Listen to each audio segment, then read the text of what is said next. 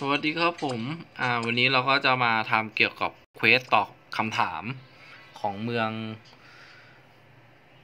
เมือง เมืองที่เป็นแกะ มีบอสแกะ ใช่ป่าวะเขาเรียกบอสแกะวะลูซิเฟอร์ เออ ไม่รู้โอ้ยตีกันดูเดือดเลยเว้ย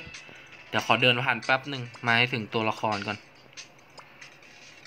แสดงว่าบอสเกิด แหม มาจังหวะดี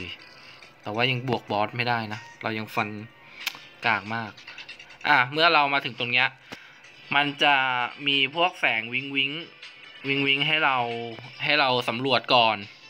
จุดนี้ พอเราหยิบมันขึ้นมาตัวละครก็จะขึ้นมา แล้วเราก็คุยกับมันไปเรื่อยๆนะครับผมจากนั้นเมื่อคุยไปเรื่อยๆ แล้วตัวละครก็จะมีคำถามมา ให้เราตอบคำถาม จากนั้นเราก็เลือกข้อที่สามก่อน ถูกกบฏจัดการ จากนั้นก็ ข้อที่หนึ่งผุพัง ต่อมาก็ข้อที่สองอะไรอะโฮมเปล่าโฮมอะไรอะอะโอเค พอตอบเสร็จแล้วปุ๊บ อ่า แล้วเราก็มาอีกทีหนึ่งอ่าผ่านเรียบร้อย ก็คือพูดง่ายๆว่าตอบสาม